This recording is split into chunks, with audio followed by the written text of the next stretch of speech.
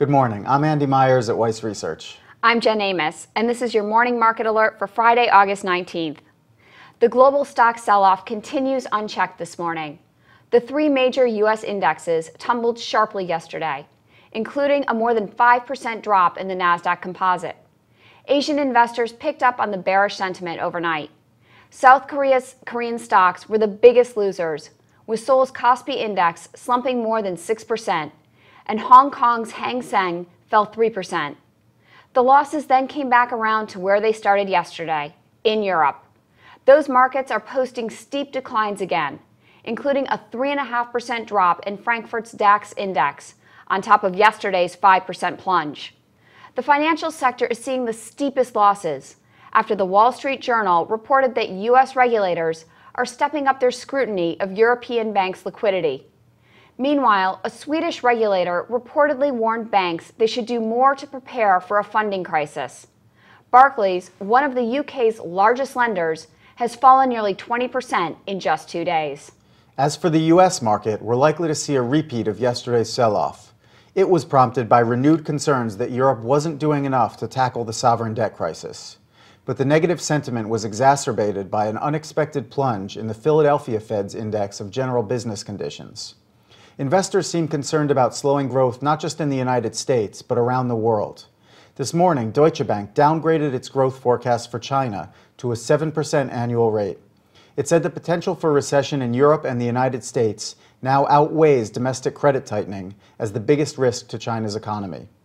And of course, slowing economic growth means reduced demand for commodities, including oil. That's weighing on the prices of those assets this morning. Right now, light sweet crude is dropping back near $81 a barrel. One commodity not feeling the demand pinch is gold. It's considered the safest of the safe haven investments, and investors are flooding into the precious metal like never before.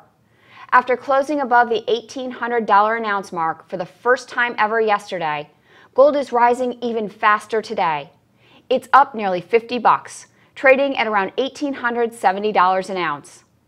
U.S. Treasuries and the dollar are also usually seen as relatively safe investments, but they seem to be losing some of that appeal today. The dollar is declining against most major currencies, and Treasury prices are dropping back, sending the yield on the benchmark 10 year note back above 2.1% and the yield on the two year note above 0.2%. On the corporate front, two stocks may grab most of the headlines today one in the financial sector and one in technology. Bank of America is likely to fall less than some of its competitors, amid reports that it will cut 3,500 employees this quarter. The Wall Street Journal and the New York Times also reported that the biggest U.S. bank is working on restructuring plans that will result in several thousand more layoffs, perhaps more than 10,000. Meanwhile, Hewlett Packard is tumbling 15% in the pre market. After yesterday's closing bell, the technology giant surprised investors by cutting its sales outlook for the full year. HP also missed earnings estimates for the current quarter and said it may spin off its personal computer business. In addition, the company said it's buying British data analytics firm Autonomy. Following that report, Needham and Robert W. Baird downgraded Hewlett Packard, and Auriga and ISI Group cut their price targets on the stock.